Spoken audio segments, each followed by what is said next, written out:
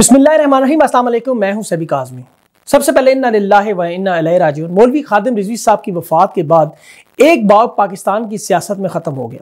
मौजूदा धरने पर उनसे इंटरव्यू की दरख्वास्त थी, जो कि इनके मीडिया कोऑर्डिनेटर के ज़रिए उन तक पहुंचाई गई और इंटरव्यू आज मुतव था, लेकिन अल्लाह को मंजूर नहीं था और उन्हें अपने पास बुला लिया। अल्लाह उनका वो जहान अच्छा करे। खादम रिजवी साहब कौन थे? खादम रिजवी साहब का ताल्लुक जो है वो अटक से था। 22 जून 1966 को निका तूत में पैदा हुए। इनके वालिद का नाम हाजी लाल हुसैन था।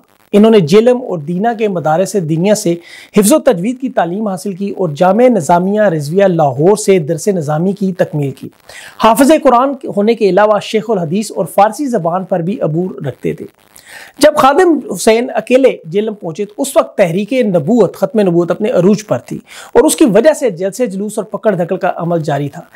जेल में अलामा साहब के गाँव के जो उस्ताद थे, हाफिज़ ग़ुलाम मोहम्मद, वो मौजूद थे और उन्होंने इन्हें जाम गौसिया इशातलूम ईदगाह ले गए। ये मदरसा काजी ग़ुलाम महमूद का था, जो पीर मेर अली शाह साहब के मुरीद ख़ास थे। वो खुद खतीब और इमाम थे, इसलिए मदरसे के मुतजिम उनके बेटे काजी हबीबुररहमान थे और आपको कुरान हिफ्स करने में चार साल का अरसा लगा। जब इनकी उम्र 12 साल हुई तो दीना ज़िला गुजरात चले गए और वहाँ दो साल इन्होंने किरत की तालीम हासिल की। कुरान पाक हिफ्स करने के अलावा दरस नज़ामी और हादीस पढ़ी। हाफिज़ खादिम हुसैन ने पहली मुलाजमत उन्नीस सौ तिरानवे में महकमा अवकाफ पंजाब में की और इस सिलसिले में दाता दरबार लाहौर के नज़दीक पीर मकी मस्जिद में खतीब भी थे। जब महकमा अवकाफ की मुलाजमत तर्क की तो उस वक्त इनकी तनख्वाह बीस हज़ार रुपये माहाना थी। फिर यतीम खाना लाहौर रोड के करीब वाक़ मस्जिद रहमत आलमीन में ये खतीब भी रहे, जहाँ से इनकी पंद्रह हज़ार माहाना इनको तनख्वाह मिला करती थी। रूहानी तौर पर खादिम हुसैन साहब सिलसिला नक्शबंदिया में ख्वाजा मोहम्मद अब्दुल वायद अलमारूफ खाजी पीर साहब काला देव जेलम से मुरीद थे। खादिम हुसैन रिजवी साहब दो अशरों से जाम नज़ामिया रिजविया में तदरीस भी कर रहे थे। इसके अलावा फ़िदाइन ख़त्म नबूत पाकिस्तान और मजलिस नज़ामिया के मरकज़ी अमीर भी थे। दारुल अंजुमन नोमानिया समेत कई मदारस तनसीबात और इदारों के सरप्रस्त और निगरान रहे। हाफिज खादिम हुसैन रिजवी की औलाद में दो बेटे और चार बेटियाँ शामिल हैं। दोनों बेटे, माशाल्लाह, हाफज कुरान और दरस निज़ामी का कोर्स भी कर रहे हैं। पाकिस्तान की सियासत में खादिम रिजवी साहब का एक बड़ा अहम किरदार सामने आया। इनकी वफात पर अब बहुत सी चहमगोइयाँ हो रही हैं कि किसी का नाम लेने लगे थे, ये किसके कहने पर फैज़ाबाद गए थे और वो नाम बताने से पहले एकदम वो कैसे वफात पा गई? अभी हाल ही में मौलाना खादिर रिजवी साहब की एक वीडियो आई जुमे ਤੇ ਕਿਹਾ ਸੀ ਮੈਂ ਆਖਿਆ ਫਿਰ ਮੈਂ ਵੀ ਦੱਸ ਦਿਆਂਗਾ ਵੀ ਮੈਨੂੰ ਕਿਨੇ ਕਿਹਾ ਸੀ ਫੈਜ਼ਾਬਾਦ ਜਾਓ ਫਿਰ ਤੁਸੀਂ ਦੱਸੋ ਨਾ ਫਿਰ ਅਸੀਂ ਵੀ ਬੋਲ ਪੈਨੇ ਅਸੀਂ ਕਿਉਂ ਗਏ ਸੀ ਫੈਜ਼ਾਬਾਦ फिर सामने लफ्ज मोहम्मद लिखा किमें आया जिसमें वो नवाज शरीफ से मुतालबा कर रहे थे कि उन लोगों के नाम बताएं कि आप बहुत बातें कर रहे हैं लेकिन इस सिलसिले में कैप्टन सफदर का नाम भी गर्दिश करता रहा। लेकिन सच क्या है, ये तो मौलाना साहब भी बता सकते थे और उनके पीछे अब ये जो सवाल हमने भेजे थे, उसमें मेरा एक बड़ा अहम सवाल ये भी था। खादम रिजवी साहब, चार मरतबा इस्लामाबाद आए। कभी कहा गया कि उन्हें नून लीग की हुकूमत के खिलाफ इदारे लाए। हालाँकि अब तो इदारे और तरीके इंसाफ की हुकूमत एक पेज पर है और अब भी खादम रिजवी साहब दोबारा इस्लामाबाद आए। तो ये बयानिया के इदारे इनके साथ थे, इनके पीछे थे, ये तो बिल्कुल दम तोड़ गया। इनकी वफात की वजह कोरोना वायरस था। या क्या खादिम रिजवी साहब को बुखार की शिकायत थी कुछ दिनों से? और ये अभी फैज़ाबाद के धरने में भी बहुत से लोगों से मिलते रहे, लेकिन इनके टेस्ट वगैरह वहाँ पर ना हुए, इसलिए इस बारे में कुछ कहा नहीं जा सकता। गुर्दों की शिकायत भी इनके बारे में बताई जाती है। अपोजिशन के एक साफ़ी अमार मसूद का कहना है कि हाफिज़ खादिम रिजवी की वफ़ात, जज वकार सेठ की वफ़ात और इनके पीछे को ख़ास लोग हैं, उनका ये इशारा है कि ये तबी मौत नहीं थी। और ऐसे लोग अमार मसूद की तरह अनारकी फैलाने में आगे होते हैं, जिनके मकासद शायद कुछ और होते हैं अपोजिशन को फ़ायदा दिलाने के लिए कुछ भी किया जा सकता है। नून लीग के दो हज़ार अठारह के इलेक्शन में 40 लाख वोटों से तहरीक इंसाफ से हारी और तहरीक लबैक पाकिस्तान को 22 लाख वोट पड़े और मुल्क की पांचवी बड़ी जमात के तौर पर सामने आई। नून लीग कहती है कि इन्हें हमारा वोट बैंक तोड़ने के लिए इस्तेमाल किया गया। इसलिए नून लीग खादिम रिजवी साहब के नाकदीन में से थी। खादिम रिजवी साहब की वफात के बाद अब तरीके लबैक का मुस्तबिल क्या होगा, ये तो आने वाला वक्त ही बताएगा कि ये किस तरफ़ जाएँगे। अभी हाल ही में आप देखें, बख्तावर, जरदारी भुट्टो की मंगनी की तकरीब होने जा रही है। मीडिया रिपोर्ट्स के मुताबिक मंगनी में कोरोना टेस्ट लाजमी है और वो भी नेगेटिव होना ज़रूरी है। हर मेहमान के जो शायद अच्छी बात है कि एहतियात लाजमी है, लेकिन क्या ज़िंदगी सिर्फ़ इन लोगों की अहम है? क्या इनका ये हक है कि कोरोना से पाक तकरीबात करें और अपने मेहमानों और उनकी ज़िंदगी को महफूज बनाएँ? दहशत गर्दी हो, सैलाब हो, जलजला हो, हर आफत में, हर मुश्किल में ये लोग महफूज रहते हैं। लेकिन हम ये नहीं कहते इनका कुछ हो। लेकिन अवाम का क्या बनेगा? हमारे सियासतदान, लीडरान, ये बात क्यों भूल जाते हैं कि इनके जलसों के वक्त जहाँ पर आम लोगों की भीड़ लगा कर ये अपना मंजन बेचते हैं, अपना नारा बेचते हैं तो उस वक्त ये सारी तदाबीर कहाँ जाती है? क्यों? जब कोरोना फैलेगा तो इनको नुकसान नहीं होगा। लेकिन ये याद रखें कि बीमारी हसब नसब, आपके उहदे आपकी दौलत किसी चीज़ को नहीं देखती। हर एक का वक्त है और हर एक ने मौत का जायका चखना है। अभी भी इन लोगों को जलसे जुलूस बंद कर देने चाहिए और आवाम की ज़िंदगी का सोचें कि वहाँ पर भी बहुत भीड़ है। अभी मेरे साथ इस वक्त प्रोग्राम में अलामा ताहिर अशरफी साहब मौजूद हैं और मेरे साथ खुरम फटक जो यहाँ पर आपको पता है, हमारे तजिया निगार हैं। दोनों मौजूद हैं, इनसे बात करते हैं एक छोटी सी ब्रेक के बाद। जी मेरे साथ इस वक्त welcome back from the break अभी खुरम खटक मौजूद है और मौलाना तायर अशरफी साहब मौजूद हैं। उनसे कुछ सवाल उनके सामने रखते हैं और खादिम रिजवी साहब की जो इस वक्त वफात है उस पर कुछ बात करते हैं। मौलाना साहब आपका बहुत बहुत शुक्रिया प्रोग्राम में ज्वाइन करने का। आ, सबसे पहले तो ये बताएँ कि खादिम रिजवी साहब की जो अभी वफात है उस पर आप कुछ कहना चाहेंगे?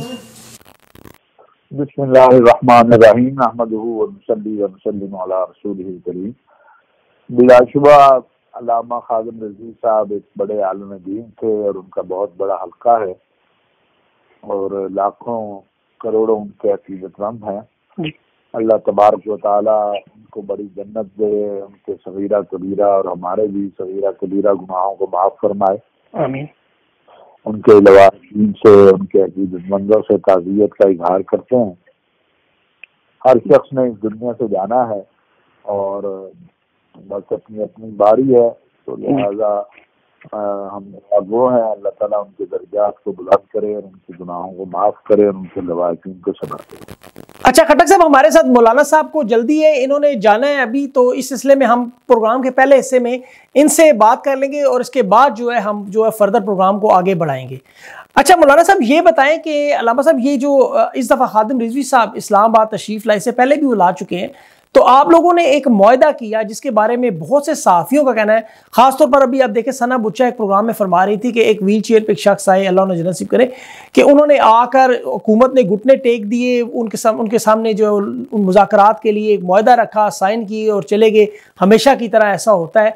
तो आप इस सारे मामले को आपके ख्याल में क्या ये बेहतरीन हैंडलिंग थी? पाकिस्तान एक जमहूरी मुल्क है और जमहूरियत में एहतजाज हर किसी का हक होता है। और क्या ये अच्छी बात नहीं है कि अगर कोई एहतजाज करे और उसके साथ मुजाकरात हों और मारपीट और एक दूसरे को नुकसान पहुँचाए बगैर मामला तय हो जाए तो जमहूरी मुआरों में तो ये होता है। आप, ये लोग क्या चाहते हैं? ये चाहते हैं कि यहाँ कतलों की ताल हो।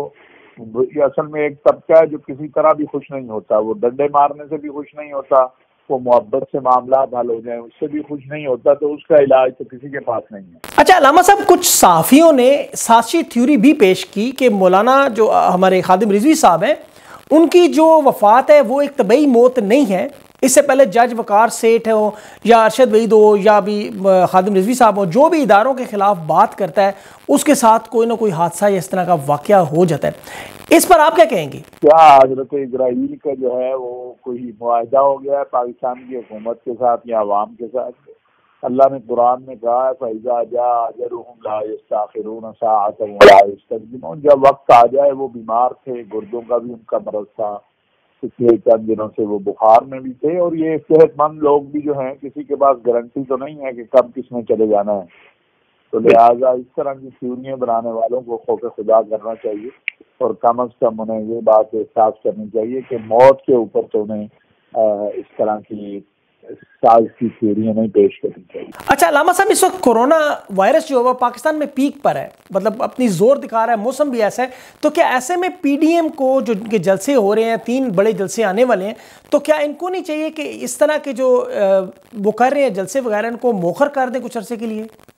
हम भी उनसे अपील करते हैं आप भी करें कि कौम के लोगों के मफाद में वो थोड़ी देर के लिए अपनी सियासत को मौखर कर दें। यही हुकूमत उनसे कह रही है। लेकिन उनकी मर्ज़ी है। हम तो उन्हें कह सकते हैं और अपील भी कर सकते हैं। अच्छा लामा साहब आपने जो तमाम मसलक मसालिक को जोड़ने का जो एक काम जो प्राइम मिनिस्टर ने आपकी ज़िम्मेदारी आपको सौंपी थी इसके बारे में आप क्या कहेंगे? किस तरह तमाम मसाले आपस में जुड़ सकते हैं? बस हमें बर्दाश्त अपने अंदर पैदा करनी चाहिए एक दूसरे के लिए। और ये जहन में रहना चाहिए कि हर पाकिस्तान है या बाहर है हर किसी ने अपने अपने मसलक और अकीदे पे रहते हुए ज़िंदा रहना है। जिस तरह हमें हमारा मसलक और अकीदा अज़ीज़ है, इसी तरह दूसरे को भी है। तो अपना मसलक छोड़े नहीं, दूसरे के मसलक को छेड़े नहीं। और इस्लाम तो तमाम मजाहब का, आसमानी मजाहब, कुतुब अम्बिया का एहतराम करता है। लिहाजा हमें जो इस्लामी तालीमत हैं जो अमन की मोहब्बत की रवादारी की हैं उसी पे चलना चाहिए और उसी पे अमल करना चाहिए। अच्छा लामा साहब जब आपको ये ज़िम्मेदारी सौंपी गई तो आपकी भी बहुत सी ऐसी वीडियोस आपके जो नाकदीन है अपोजिशन है डिफरेंट लोग हैं उन्होंने आपकी वीडियोज़ जो है वो शेयर करना शुरू कर दी जिसमें आपकी हालत कुछ इस तरह की थी। उन लोगों को आप क्या कहना चाहेंगे? नहीं देखें जिसकी मुखालफत ना हो जिसकी अपोजिशन ना हो वो तो मुर्दा होता है। तो आपको ज़िंदा, अब वही आदमी ज़िंदा रहता है जिसकी हिजब इख्तलाफ ही हो। तो कोई बात नहीं है, वो भी अपना शौक पूरा करें। और उनका हक है कि लाजमी बात है कि हम हुकूमत में हैं तो हिजब इख्तलाफ उसकी मुखालफत करेगी, हमारी जमात है तो उसकी मुतबादल जमात उसकी मुखालफत करेगी तो ये तो ज़िंदगी का हिस्सा है। तो ज़िंदा रहने वाला इंसान जो है, उसकी मुखालफत होती है ना, मुर्दों की तो मुखालफत नहीं होती। इसलिए मैं नहीं समझता यहाँ हक है हर किसी को अपनी बात करने का और वो करनी चाहिए। खटक साहब बहुत बहुत शुक्रिया आपका। आपने इंतज़ार किया अलामा शफी साहब को जाना था। अच्छा खटक साहब सबसे पहले तो खातम रिजवी साहब की वफात पर आप कुछ कहना चाहेंगे? जी खातिम रिजवी साहब का इंतकाल हुआ है उसके लिए आ, मैं दुआ कर सकता हूँ कि अल्लाह ताला उनको जवार में जगह फरमाए। उनके जो लोग फॉलोअर्स हैं उनके घर वाले उनके दोस्त अहबाब उनको सब्र दे और ये उनके लिए एक बहुत बड़ा लॉस है। तो मेरे उनके लिए नेक तमन्नाएँ अल्लाह उनकी आगे की मंजिल आसान करे। अच्छा अभी हमने अलामा साहब से जो बात की, आपने सुना होगा कि उन्होंने कहा कि जो हुकूमत के साथ बहुत से लोग, जो आपको पता है, साफ़ी इस वक्त इल्ज़ाम लगा रहे हैं कि जी, जैसे सना बुचा कह रही थी, कल परसों एक प्रोग्राम में और दीगर सहाफ़ी भी कह रहे थे कि किस तरह वो आए, उन्होंने माहा किया, चार मरतबा इस्लामाबाद कोई भी आ, कर सकता है। शफी साहब ने बड़ी अच्छी बात की कि ये हुकूमत का काम होता है कि अपने लोगों से बात करें और ये उनके पास चूँकि जमहूरी हक है कि वो आकर अपना प्रोटेस्ट कर सकते हैं। आप इस पर क्या कहेंगे? देखिए जी, हर हर हर जो जितने भी लोग हैं और माशाल्लाह काफ़ी साहिब इल्म लोग हैं, हर एक बंदे का एक अपना ख्याल है। मैं आपके सामने एक और पॉइंट ऑफ़ व्यू भी रख देता हूँ कि जमहूरियत का मतलब ये नहीं है कि कोई भी ग्रोह उठे वो किसी भी चीज़ के बारे में हमें आके डिक्टेट करना शुरू कर दे और फिर हुकूमत जब वो इतना ज़्यादा इंतजामी मसले बना दे लोगों की ज़िंदगी अजीरन कर दें और लोगों की ज़िंदगी अजीरन करके वो अपने मुतालबात मंजूर करवाएँ तो मेरा नहीं ख्याल कि ये कोई एक अच्छा और एक महजब मुआशरे का कोई तरीका है। जमहूरियत में हर बंदे को हक है और जमहूरियत में उस बंदे का भी हक है जो कि अपनी ज़िंदगी खराब नहीं करना चाहता किसी की वजह से।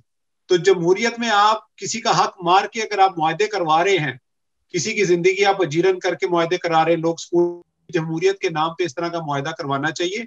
हाँ ये मुआदे पहले होने चाहिए। ये मुआदे रोड के ऊपर आके एक आम आदमी को तंग करके नहीं होने चाहिए। तो मेरा इस बात से ज़रूर इख्तलाफ है। आप ज़रूर करें, आप जो भी इस्लाम की खिदमत करना चाह रहे हैं, आपको पूरा हक होना चाहिए। मगर आपके पास ये हक नहीं होना चाहिए कि आप इस्लाम की खिदमत आम लोगों को तकलीफ़ दे के करवाएँ। ठीक है? तो मैं इस बात में थोड़ा सा अपने ख्याल थोड़े से मुख्तलिफ़ रखता हूँ। तो जमहूरियत का मतलब ये नहीं। खटक साहब, लेकिन आम आदमी की ज़िंदगी तो पाकिस्तान में एक बारिश भी अगर हो तो वो मफलूज हो जाती है। कोई हादसा हो जाए तो आम आदमी की ज़िंदगी मफलूज हो जाती है। बाज़ारों में रश ज़्यादा बढ़ जाए, कोरोना के दिनों में लोगों की ज़िंदगी जो है मफलूज हो जाती है। तो अगर खादिम रिजवी साहब नमूस रसालत के लिए बाहर आ गए और जब उनकी बात नहीं मानी जा रही थी, उनके जायज़ मुतालबात जो उन्होंने सामने रखे अगर वो उस पर बाहर आकर लोगों के साथ बात कर रहे थे तो उसमें क्या मसला है? किस तरह आम आदमी की ज़िंदगी जीरन हो रही है? आपका बड़ा अच्छा सवाल है। मैं आपके सवाल को ही थोड़ा सा एक्सप्लेन कर देता हूँ जिसको जिसको मैं जैसे समझ रहा हूँ कि आपने जितनी एक आपने एक, एक, एक आपने जो जितनी तमहीद बांधी के इस तरह के मसलों में इंसान आम आदमी की ज़िंदगी जो है वो जीरन हो जाती है तो आपने जितनी बातें बताई वो सारी कुदरती आफात थी। तो कुदरती आफात को आप खादिम रिजवी साहब की जो उन्होंने जो अमल किया उससे अगर कंपेयर कर रहे हैं तो मैं नहीं समझता कि आप उसको कुदरती आफात समझ रहे हैं। मेरे ख्याल में वो एक इंसानी अमल है और वो कुदरती आफात है तो उनका मुआवजा नहीं होना चाहिए। और दूसरी बात ये कि जायज़ तो शायद उनके लिए थी और वो उसको जायज़ समझते हैं। हो सकता है मैं उसको जायज़ ना समझता हूँ हो सकता है कुछ बातों को आप जायज़ ना समझते हैं। मगर मगर मगर मैं अगर आपकी मैं मुझे मुकम्मल मुकम्मल कर लीजिए अगर मैं आपको रोक के आपको मैं ऑफ़िस ना जाने दे के आपको मैं स्कूल ना जाने दे के आपको मैं हॉस्पिटल ना जाने दे के अपने जायज़ मुतालबात मनाना चाहूँ तो क्या आपको ये अच्छा लगेगा? नामूस रसालत पर वो निकले थे, वो अपने शौक के लिए निकले, नहीं निकले, और अगर नामूस रसालत पर एक बंदा निकल कर अपनी आवाज़ बैर बुलंद करता है, ठीक है, बिना किसी तोड़ फोड़ के, या अगर वो आके अपना एक जायज़ मुतालबा पेश करते हैं हुकूमत के सामने, आवाम की सूरत में लोगों की आवाज़ बनकर क्योंकि आपने दुनिया देखी थी उनके साथ थी तो इसमें क्या मसला है? क्या आपको नहीं लगता कि जो कुदरती आफात में एक आम आदमी की ज़िंदगी तो डिस्टर्ब होती है जिसे हम बर्दाश्त कर लेते हैं यहाँ पर क्या नामूस रसालत इन छोटे छोटे मामला से बेहतर नहीं? आपको नहीं लगता कि ये हमें थोड़ा सा सोचना चाहिए बिंग मुस्लिम देखिए आप नमूस रसालत की का तो क्वेश्चन ही नहीं है वो तो उस पर कोई बात ही नहीं है नहीं तो फिर तो ये लोग क्यों आए हुए नहीं एक मिनट अगर वो क्वेश्चन नहीं तो फिर ये लोग वहाँ क्या करने आए थे? या क्यों आते हैं लोग?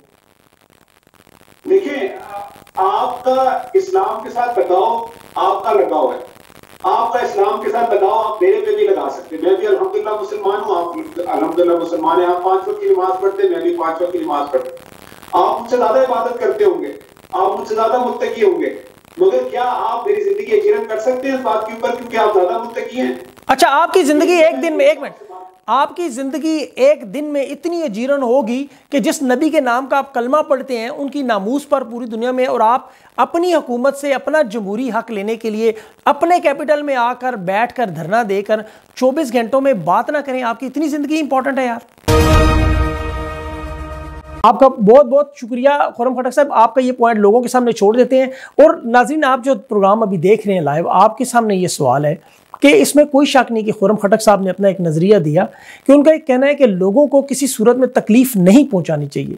जबकि तायर शफी साहब ने भी बताया कि हुकूमत ने उनके मुतालबात इसीलिए माने कि लोगों को तकलीफ़ कम से कम हो और उसके साथ साथ जहाँ नामूस रसालत वसल्लम का मामला आ जाए, वहाँ पर हम सब पर ये लाजिम है। हमारे माँ बाप हमारा सब कुछ कुर्बान है।